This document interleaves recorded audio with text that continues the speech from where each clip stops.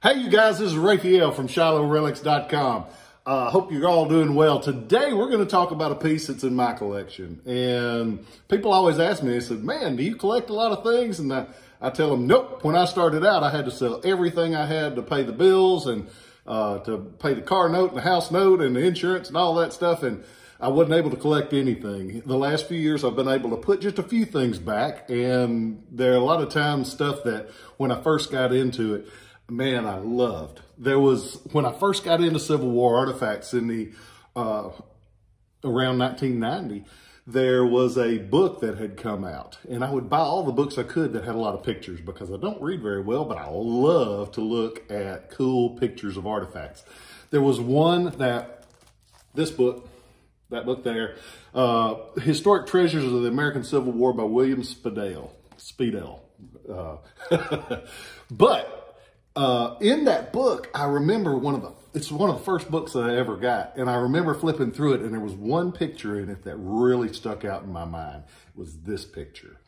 And this picture came into focus when I realized who it was.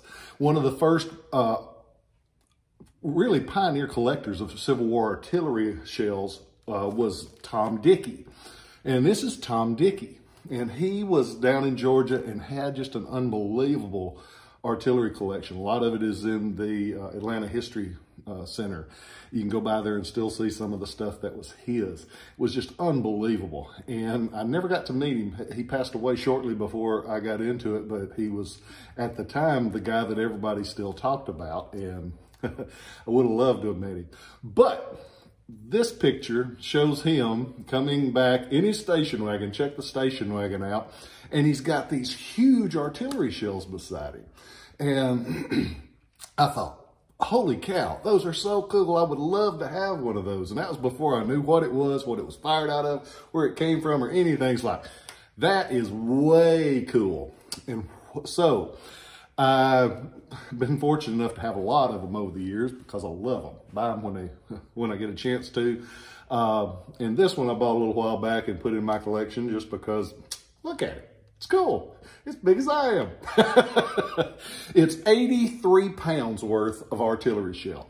83 pounds. Can you imagine that flying through the air? 83 pounds of artillery. And uh, this is believed to be one of the ones that uh, Mr. Dickey dug at the place where most of them come from. It's private property now, you can't hunt it. Uh, it's island number 10 on the Mississippi River. And it's island number 10. It sits in a very tight turn up uh, near New Madrid. And it was a very important thing because it had such a tight turn. All the boats that went up and down the Mississippi River had to go through that real tight turn. So the Union Navy uh, made some uh, naval ships. They were some ironclads and they're called city class. They're city class gunboats and they made uh, six of them, they, including the Cairo. If you go down to Vicksburg, they raised the Cairo out of the Yazoo River and put it on display in the museum uh, there. It's one of the coolest places you'll ever go if you haven't ever been. But on that boat, it has some of the guns like fired this shell. Most of them were fired at the Confederates sitting on island number 10. Those guys on island number 10 were firing out towards the gunboats and they were firing one of the rarest shells you'll ever see. They were fired some of those 6.4 inch diameter archers, Confederate archers. Had one over the years, always thought I'd get another one. Nope, never seen another one for sale. Uh, but I've been fortunate enough to have a few of these. This one, it's pretty. 83 pounds, that big. To put it in perspective, put the little book down. Uh, this is what the regular field size Dyer looks like. This is how big this one is. So it's like steroids uh, and a half on these. They, 83 pounds, doesn't sound uh, like one you want to be carrying around very often, but it's so cool. And there's Mr. Dickey sitting there with a whole pile of them that he, they dug. He said he dug, I think it was 80 or 100 of them out of there back in the day. They fired these at island number 10 from February 28th to April 8th, 1862. So they were dropping shells in there a lot. And these are referred to as duds because they didn't go off. Why wouldn't it go off? And I'll, I'll be glad to tell you. There was a real good reason.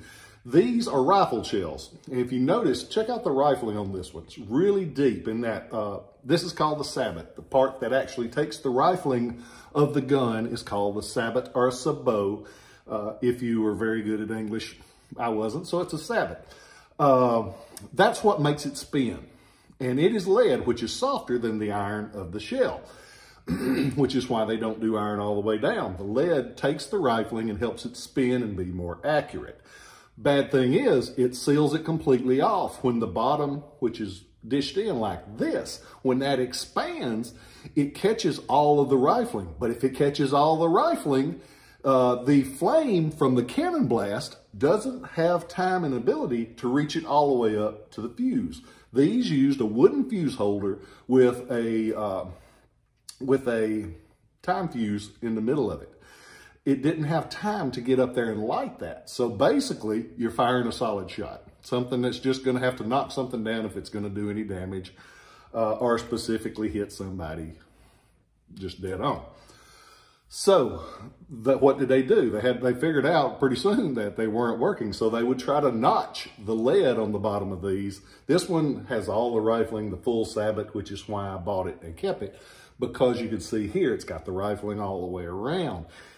it's a neat shell. It's in great shape. Uh, I like to think that it's one that Mr. Dickey dug, even if he didn't. I hope he did. Uh, but it's just a cool shell, huge, from a neat location, island number 10. Uh, came off of one of those six uh, city class gunboats. They, had a nickname, and they were called Pook turtles, P-O-O-K turtles, because they kind of do look like a turtle when you look at the pictures of them uh, fired from a rifled 42 pounder uh, in those city class boats, which they were made actually at, uh, they say they were finished up in around Cairo in uh, Illinois. The shells themselves, you don't see them many places besides uh, island number 10. You do see some from Vicksburg and Grand Gulf. That's because those boats from up there worked their way down to around Vicksburg, Yazoo River, where uh, the Cairo sank. But they're 14 inches tall, 83 pounds, heavy. And this one's nice. I like it when you can see that rifling out of the cannon. Uh, just something, and they're a neat, most of the ones you see today, you can buy for under a $1,000. And I know a $1,000 is a lot of money, but that's a lot of cool. That's an awful lot of cool. Hell, keep going up. Gonna be cheaper than a dozen eggs at the Walmart. Uh, sorry, I took a tangent. I went to buy eggs this morning and said, I'm just gonna quit eating. But as you can see, that ain't gonna happen. Uh, but that you can find them now, uh, and they're usually under a thousand dollars, and that's a lot of history, uh, great history. And so go on to uh, ShilohRelics.com. You can't see this one but you can see this one. This one's for sale as of right now, and it can be in your collection as soon as you run that credit card through. And I appreciate it. I hope you guys have a great time. Uh, it's graduation time here in Hardin County. I was uh, fortunate enough to watch a lot of them, and it was a it was a neat uh, a neat thing. My little grandson uh, got his award yesterday, and it's just kind of cool to watch the kids with all uh, all their excitement about being grown and they have no idea. Uh, being grown's a whole lot of responsibility and a whole lot of very little thanks. So it's just nice to see the uh, enjoyment. So if you, I don't know why I, why I took that tangent, but I hope that you guys are well. I hope everything goes well for you. Thank you for watching these. Man, you guys have made a hell of a difference in my life. Uh, the encouraging words that people say about him. I had a guy call today, never ordered before, ordered his uh, first sword from us. And uh, he said, I sure do like them videos. And I said, man, I sure do like hearing that because it makes a fella feel good. I hope that you guys are well. Thank you again for watching these. Share them if you would. Like them if you would. Because uh, I, I use all the watchers, viewers, and customers I can get. Never hurts to have a hand up. I appreciate you guys. I'll catch you later. Love y'all.